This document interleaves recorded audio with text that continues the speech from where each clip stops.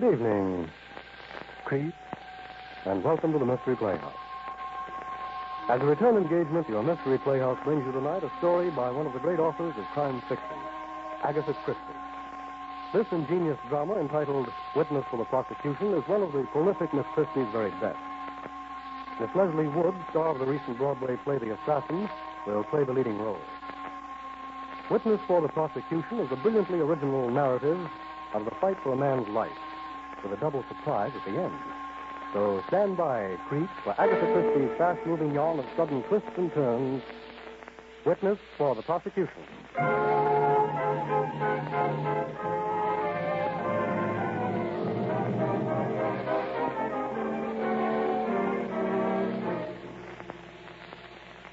Our story begins in a little house in the suburbs of the great city.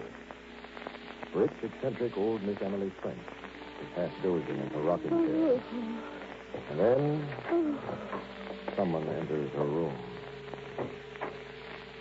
Walks up to the rocking chair, looks down on Miss French, and then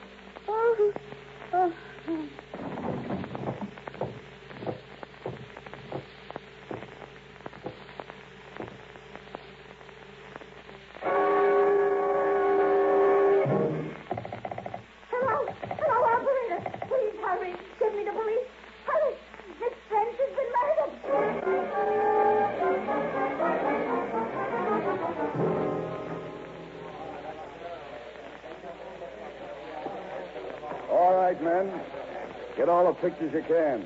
The murder weapon, the rocking chair, the corpse. Okay, Inspector, we're getting Miss French wouldn't listen to me, Inspector Einstein.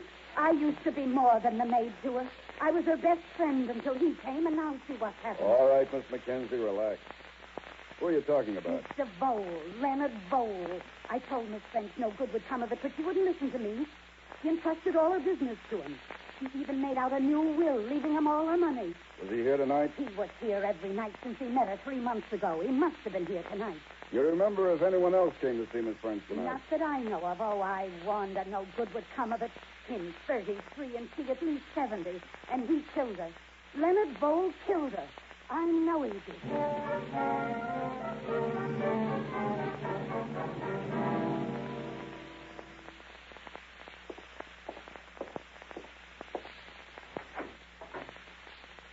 Leonard Vole, that's right. Inspector Reinstein, Homicide Squad. I'd like to talk with you down at headquarters. What about? Emily French has been murdered. Murdered? But who? What do you want with me? We're booking you on suspicion.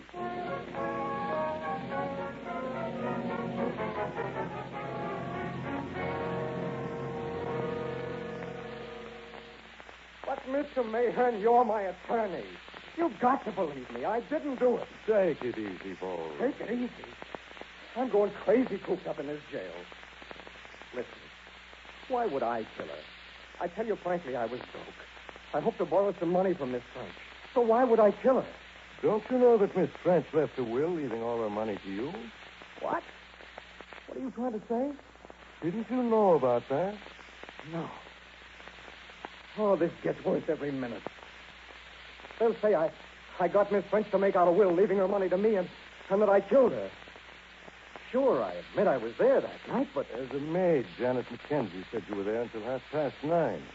She said she heard voices in the sitting room where Miss French's and that of a man. half past nine. Yes. Half past nine. Then, then I'm saved. What do you mean, saved?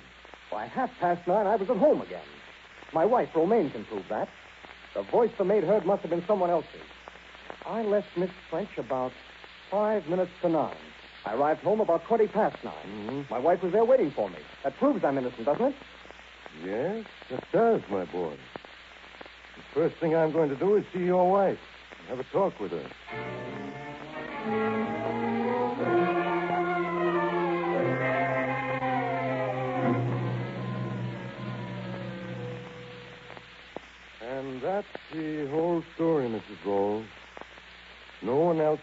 Leonard return at 9.20. There'll be no one else to confirm your testimony. I see. Leonard wants me to say that he came in at 20 minutes past nine that night. Is that right? Yes. Uh, he did come in at that time, didn't he? That's not the point. Will my saying so acquit him? Will they believe me? Well, uh, there's a great deal of evidence against him, and, and the testimony of a devoted wife sometimes. Well, I, I can't promise your testimony will save him. Now, I know what you must feel, but. Do you? I wonder. Well, I mean, all this must be difficult. You being so devoted to your husband. Devoted. Devoted. I hate him. What? I tell you, I hate him. I hope he drops dead if I don't convict him. What the de- Supposing I tell you that he did not come in that night at 20 minutes past nine, but at 20 minutes past 10. What? You say that Leonard claims he doesn't know anything about the money coming to him. Yes. Well, supposing I tell you that he knew all about it and counted on it and committed murder against it. But. Supposing I tell you that he admitted to me that night when he came in what he had done. He- That there was blood on his coat. What then? Suppose I stand up in court and say all these things.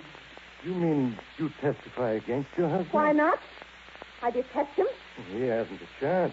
Not a chance. Of course not. Did you honestly think he was innocent when you came here to see me today? Yes, I did. I see. And what do you think now? I still think he's innocent. And I think you're lying. Good evening, Mr. Ford.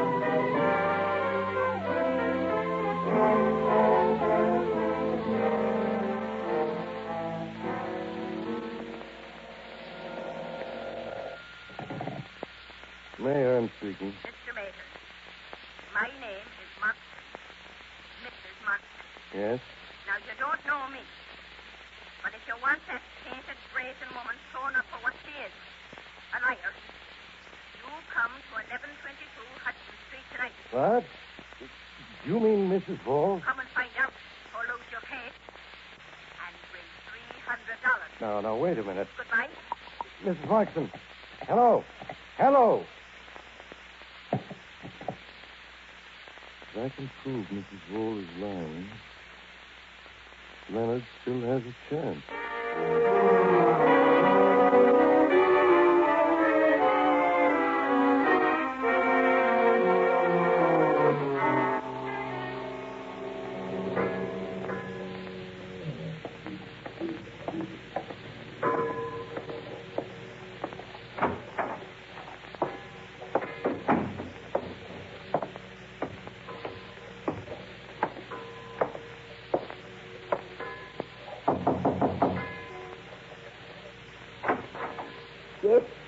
Mrs. Markson, I'm Mr. Mayherne. Oh, oh, so you decided to come in. Well, come on in, come on. I see you're looking at the scars around my face. Are you wondering why I hide my beauty, here? Would you like to see? Oh, I I wasn't. Sure you shall see. Here. Never mind. Never mind. I'll cover my cheek with a scarf again. But you don't feel like kissing me, do you? And I don't blame you. And yet, I was a pretty girl once. And not so long ago as you'd think either. Vitriol, my dear, vitriol. That's what did that to my face. But I'll be even with her. I can give you proof that Romaine Vole has lied about her husband. Proof? What kind of proof? What would you say to a letter? A letter from her? Well, how did you get hold of it? Never mind how I got hold of it. That's my business. But it'll do the trick, all right. Now, three hundred dollars. All right. But first, the letter, if you please. Mm. Yes, they're right here in this desk. Here they are. A whole bundle of them. But it's the top one you want. Thank you. Now, go on. Go on and read it. Max.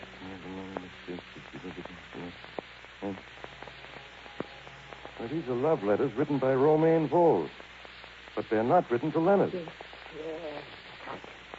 This one is dated the day of Leonard's arrest. How did you get hold of this correspondence? That would be telling.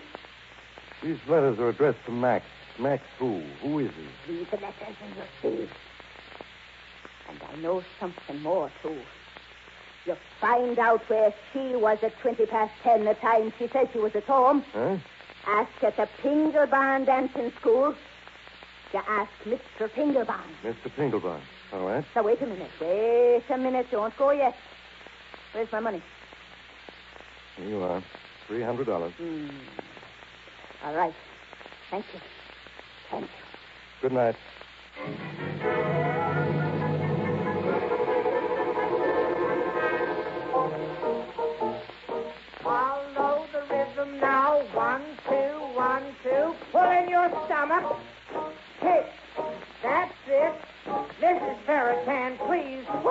Your stomach. Oh, that woman will never learn. Follow the class. One, two, one, two. Gracefully now. Left arm coming over your head and touching the floor so gracefully. So come in gracefully now, rhythmically. Uh, Mr. One. Oh, please. Mr. Pingelbarn, I'm sorry to intrude, but it's about the Leonard Vole murder case. Oh. Cedric, stop the piano. Well, what can I do for you? I have a photograph here. Could you identify this woman? Uh, let me see. Why, uh, why, yes, that's Romaine Vole. Oh, she's one of my advanced students. Very artistic. In fact, she used to be an Oh, actress. never mind all that. Was she here the night of the murder? Why, yes, I, I remember we all discussed it the next day. What time did she leave? Well, I, I think the class broke up at 10.30 or so that night. Oh, class, please. Mrs. Ferritan, pull in your stomach. How many times have I told you? Posture, Uh, posture. Mr. Pingelbarn, you may be called upon at the trial tomorrow to testify that Mrs. Vole was here at 10.30 that night. Me? A witness in a murder trial? Yes. Oh, I'd love it.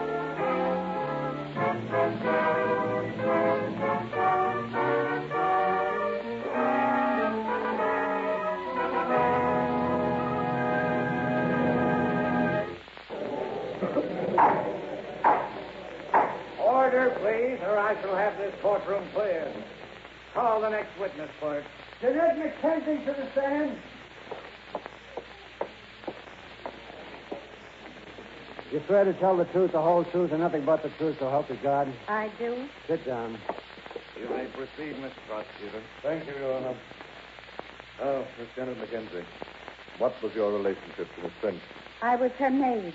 Then you were in her confidence? Oh, yes. We kept no secrets from each other. Did she tell you that she had made out a will, leaving all her money to Leonard Vole? Yes.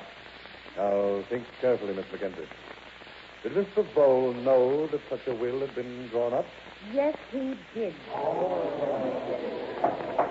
Ah, Miss McKenzie, will you please tell this court, in your own words, what transpired in the home of Miss French on the night of your mistress's death? Well, I, I was to go out for the evening. I did go out, but about half past nine I returned. I heard voices in the parlor. One was Miss French's, and the other was a man's. Did you recognize that man's voice? Yes, it was Mr. Vole. That's all. Thank you. Uh, just a moment, Miss Mackenzie. Yes, You say that you heard a man's voice in the sitting room that night. Did you see that man? no, I didn't. Then how can you be sure that it was Mr. Vole who was there? Well, I think it was Mr. Vole. You think it was. That's all, Miss Mackenzie.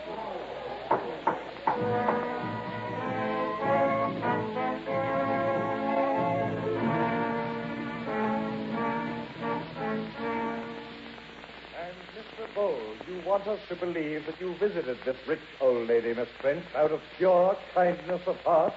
A woman 40 years your senior? You want us to believe that, Mr. Vole? I only want You look pale, Mr. Vole. Would you like a glass of water? No. It's my heart.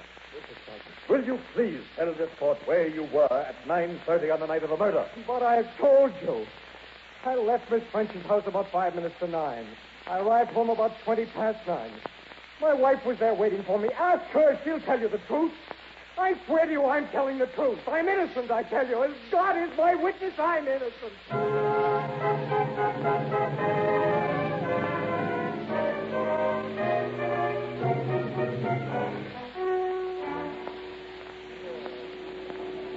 The prosecution calls as its next witness Mrs. Romaine Vole. Romaine Vole to the stand, please. Do you swear to tell the truth, the whole truth, and nothing but the truth, so help you God? I do? Sit down. Um, your name is Romaine Vole. Yes. Did your husband ever tell you that he knew that the money was coming to him? That he knew about the will? Yes. He knew about the will. Now, Mrs. Vole, you have sworn to tell the truth. Mr. Vole says that he was home by 9.30 that night. Is that true? No, it is not true. Will you tell the court what you know about the night in question? Yes. Leonard was with me early in the evening. About 8 o'clock, he put on his hat and coat and left the house. He returned at 20 minutes past 10. And when he came in, I knew something terrible had happened. He wouldn't look at me. He just walked into the kitchen. His coat was stained with blood. I realized then that he had murdered Miss French. No, no. No, Romaine, why are you lying? Order, order. That will be all, Mrs. Vole. One moment. I have a few questions for the witness for the prosecution. Mrs. Vole, you heard Mr. Vole cry out in his torment that you were lying. Are you? I am not lying. You are. And I'll tell you why. And I'll prove it. Ladies and gentlemen of the jury, I want you to understand that this woman's story is a malicious fabrication from start to finish. I want you to know that she wasn't even in her own house at the time in question. I want you to know that she is in love with another man and has been deliberately seeking to send Vole to his death for a crime he did not commit. First of all, Mrs. Vole, do you still claim that you were at home 20 past 10? Yes, that's when Leonard came home. I want you to look at the witnesses sitting at that end table. Uh, Mr. Pinglebarn, will you stand up, please? Gladly. Mrs. Vole, do you recognize this man? Yes? Mr. Pinglebarn runs a dancing school. Will you deny that you were at one of his classes until 10.30 on the night in question, or shall I take this court's time to call Mr. Pinglebarn and his class to the stand to prove that you were with them? No. No, I was not tonight. Then you were not at your home at 10.30. I. You were home at 9.30 when Leonard came home, but you hurried away to your class, and you were there until after 10.30. Is that right? Well, I. I'm afraid Mr. Pinglebarn and his class can prove that. Exactly. And now, now I should like to place in evidence this letter written by Romaine Vole to another man. Clerk, you may read the letter. Here you are. Max beloved, the fates have delivered him into our hands. He has been arrested for murder. The murder of an old lady. Leonard, who would not hurt a fly. At last I shall have my revenge. I shall say that he came in that night with blood upon him, that he confessed to me. I shall hang him, Max, and when he hangs, he will know and realize that it was Romaine who sent him to his death. And then, happiness, beloved, happiness at last. Mrs. Vole, look at this letter. Yes? You deny having written this letter? I. Will you admit it, or shall I have the experts who are present prove that this letter is in your handwriting? Mrs. Vole, did you write this letter? I.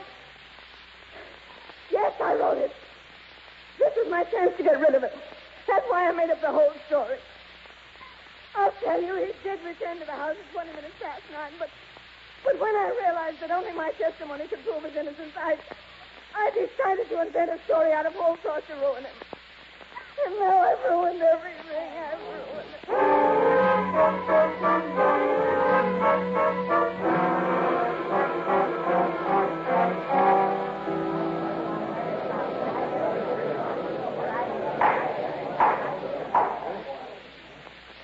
And so, ladies and gentlemen of the jury, we have proven that Romaine Vole's evidence was a tissue of lies from beginning to end. We have shown that she evolved it out of her passionate hatred for the defendant. And since the chief witness for the prosecution has confessed to her false story, confirming Mr. Vole's statement that he was not at Miss French's house at 9.30, I ask that you bring in the only possible verdict.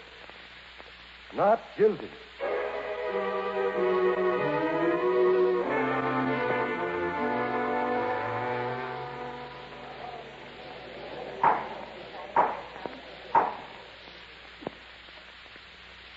Jury, find the defendant not guilty.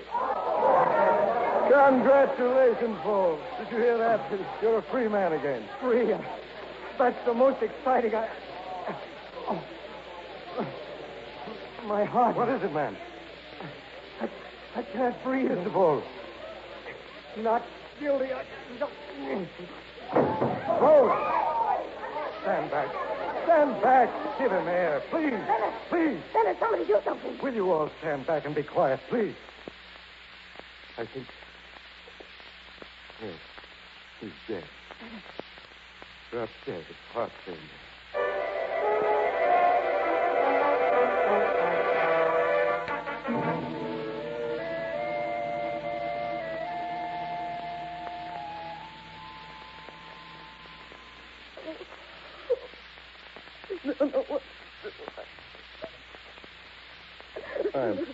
Sorry, Mrs. Vole.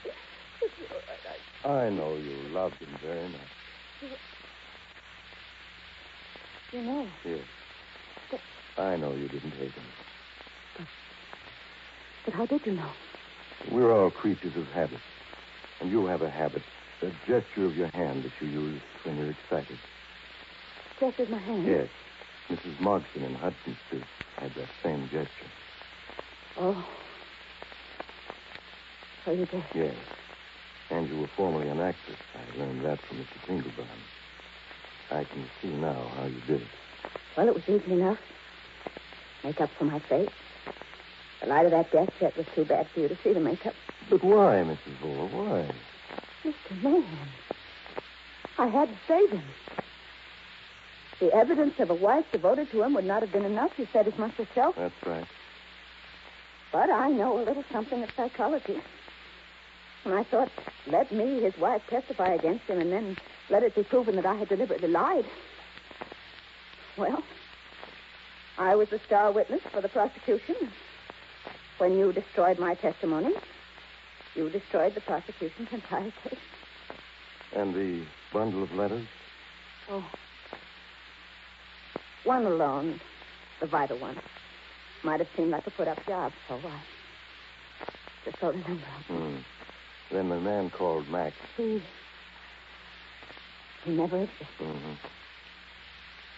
I still think that we could have gotten him off by the uh, normal procedure. I didn't dare risk it. You see, you thought he was innocent. And you knew it. I see.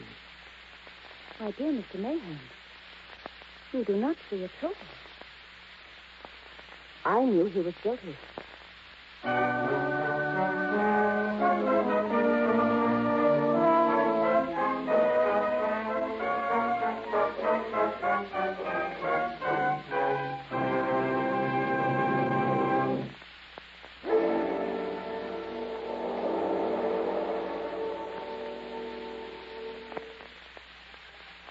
Well, Creeps, that rings down the curtain on Witness for the Prosecution, tonight's performance in the Mystery Playhouse.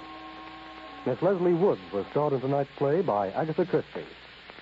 Until next time, Creeps, good night. Sleep tight. This is the Armed Forces Radio Service.